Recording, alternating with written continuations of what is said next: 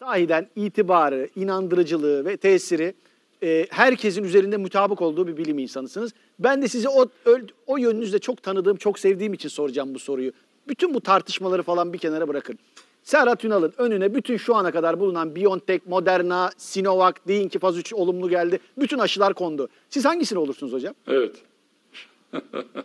Önce iyi görüşlerin için teşekkür ederim. Yani Türkiye'de pek çok arkadaşımız hep beraber e, ülkemize hizmet etmeye çalışıyoruz.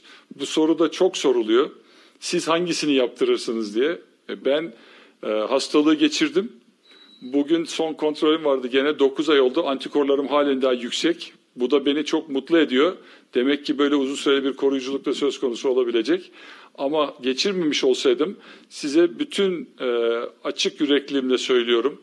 Türkiye Cumhuriyeti Sağlık Bakanlığı ilgili kurumları tarafından incelenip onaylanmış ve Türkiye'de kullanımına izin verilmiş hangi aşıyı bulursam hemen onu yaptırırdım.